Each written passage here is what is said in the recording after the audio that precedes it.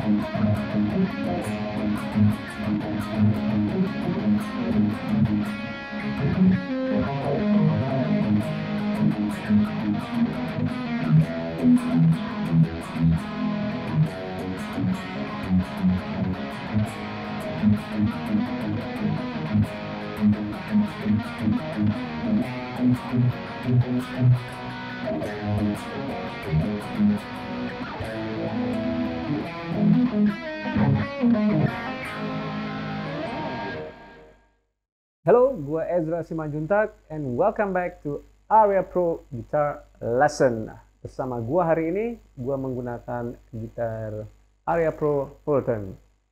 And uh, kali ini, gue pengen uh, sharing kalian salah satu dari uh, lick ataupun kombinasi teknik favorite gue, yaitu bagaimana mengembangkan skill etnis Indonesia, of course, tapi menggunakan uh, speed picking.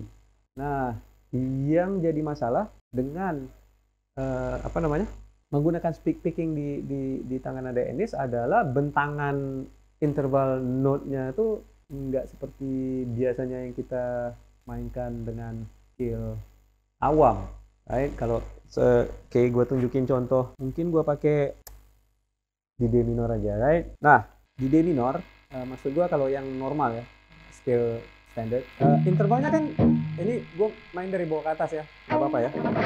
Jadi D minor kan ini ini ini. Ini standar uh, standar uh, interval. Obviously jarak antara notanya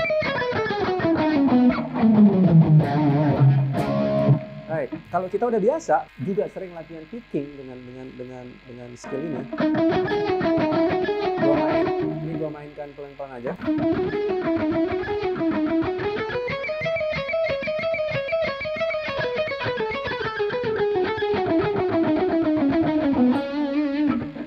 Semua jaraknya itu masih masih masih terjangkau dengan dengan biasa. And jadinya picking pun mungkin nggak nggak jadi terlalu kago ya. Tinggal tempo lu naikin pelan-pelan sampai akhirnya lu bisa main dengan cepat. But kalau kita bicara tangan ada etnis uh, ini gua mainkan di D minor juga. Cuman ini udah menjadi bisa dipanggil uh, D minor approximate atau D minor approximate. Tangan ada Sunda D minor approximate. Karena tuning gitar dengan alat in, uh, tradisional uh, itu enggak Indonesia itu enggak enggak sama. Gitar ini di uh, 440 ya frekuensi tuningnya sementara alat alat tradisional di dalam satu orkes saja bisa belang-belang bisa beda-beda. Ya yang penting resonansinya itu entah gimana bisa bisa barengan aja. Jadi malah malah ada resonansi yang yang yang asik. Tapi di gitar karena bukan bukan begitu frekuensi tuningnya nggak akan mungkin sama. So sekali lagi ini cuma aproksimasi saja, kurang lebih mendekati, right? Nah, uh, intervalnya nggak sama dengan yang tadi, obviously udah pasti. Dan itu ya itu itu menciptakan uh, masalah yang yang cukup buat gua awal-awalnya jadi PR banget, right? Jadi contohnya misalnya kalau tadi itu kan standar. Nah, kalau kita mau mainkan tangan ada uh, Sundanya, jadinya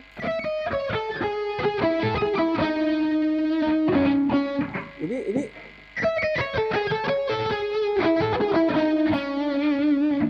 udah udah jadi udah jadi PR ya dengan dengan tersendirinya because ininya lebar ya. Jadi um, otomatis kita nggak bisa nggak bisa picking bukan nggak bisa tapi kalau kita picking dengan cara biasanya uh, maka akan jadi akan jadi uh, PR yang merepotkan uh, apalagi kalau kita mau merentang senar sequence itu kan artinya ada pola yang berulang ya kan. Misalnya kita bisa aja main dengan legato.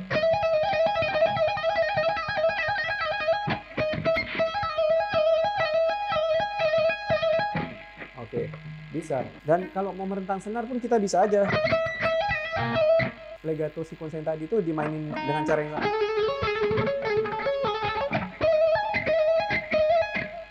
bisa aja. Tapi kalau kita mau menggunakan yang lebih staccato picking, nah itu udah udah udah udah terlalu repot kalau semuanya alternate picking seperti biasa, maka gua menggunakan economy picking. Jadi kalau economy picking sebenarnya adalah gabungan antara alternate dengan sweep. So ketika kita merentang senar, maksudnya pindah dari satu senar ke yang lainnya, arah picknya tuh di, di, disamakan. Kalau sedang naik, dia naik lagi, as opposed to alternate picking yang naik harus turun atau setelah turun harus naik lagi. Jadi kalau kita bicara ekonomi picking itu disamakan saja, right? So jadi dalam contoh sederhana ini uh,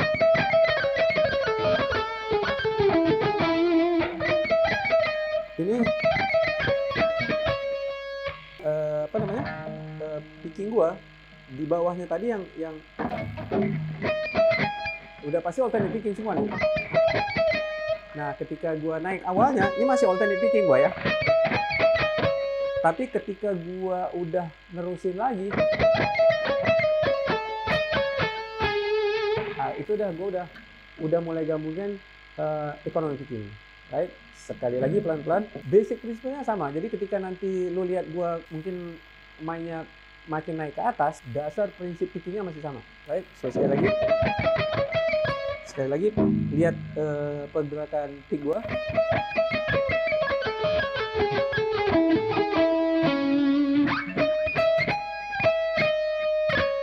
Oke, naik nih ya, turun naik, naik, dua-duanya naik. Jadi saran gua adalah kalau gua, gua ngelatih itu dulu.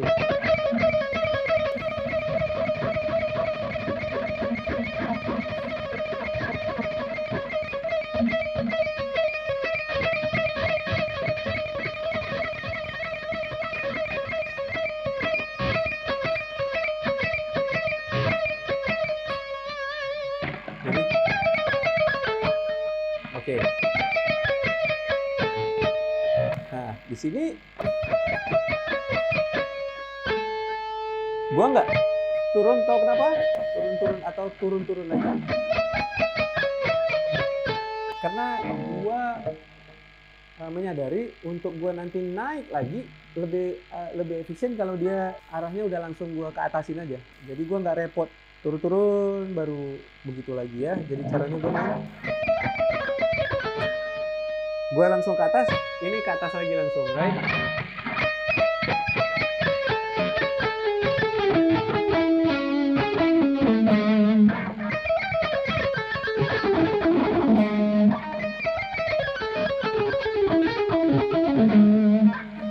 Nah, uh, ngebiasainnya itu nomor satu dulu. Jadi bukan cuma menghafal gerakan pickingnya, uh, aja sih ya. Jadi jadi mem membiasakannya nih lain lagi karena walaupun pada prinsipnya gua pakai ekonomi picking ada yang gua modif dikit dikit aja sih.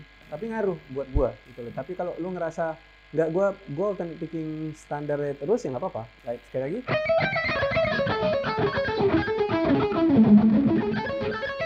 Nah, ketika ketika turun ini ini kan ini kan ini sebenarnya sweet deh. Nah, karena gue melakukan sequence di sini nggak cuma turun gitu aja, gue melakukan sequence, maka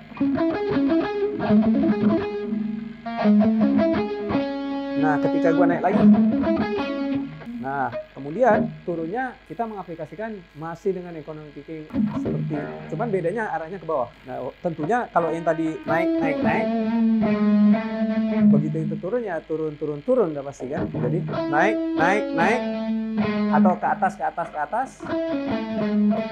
turunnya di sini nih. Turun turun. Baik, turun turun naik. Turun turun naik. Jadi Right. Nah, karena di sini turun turun turun naik, ini naik lagi nih. Baik, naik lagi. Naik, naik atau ke atas ke atas. Baik. Ke atas lagi.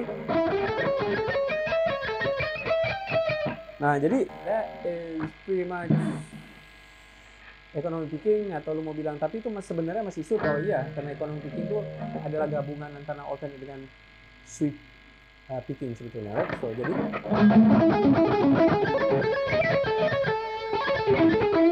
baik jadi kalau gitu uh, gabung dengan yang pertama tadi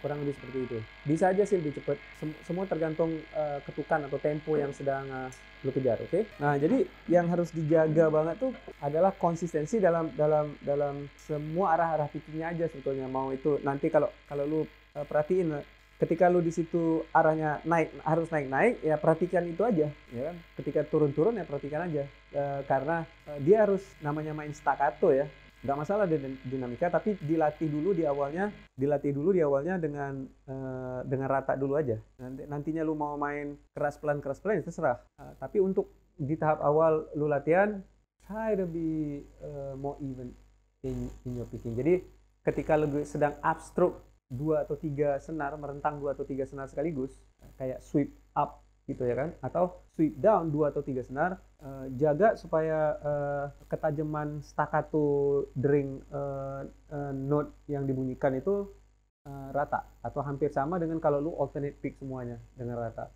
Buat uh, melatih disiplin dinamika tone atau nada ya, yang lu ketik aja. Nanti setelah udah lancar lu mau main dengan dengan apa, naik turun pelan keras pelan keras ya itu terlalu. Oke sekali lagi uh,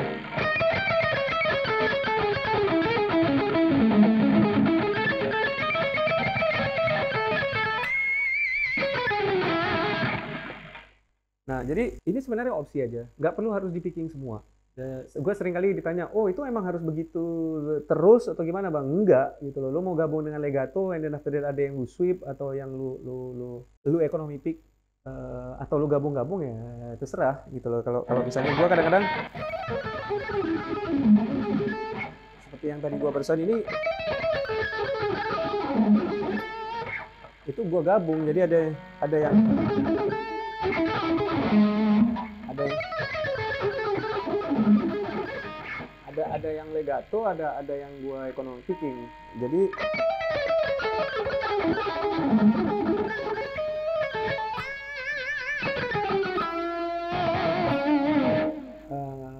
dinamikanya udah pasti beda dengan yang staccato tadi. Jadi jadi uh, terserah.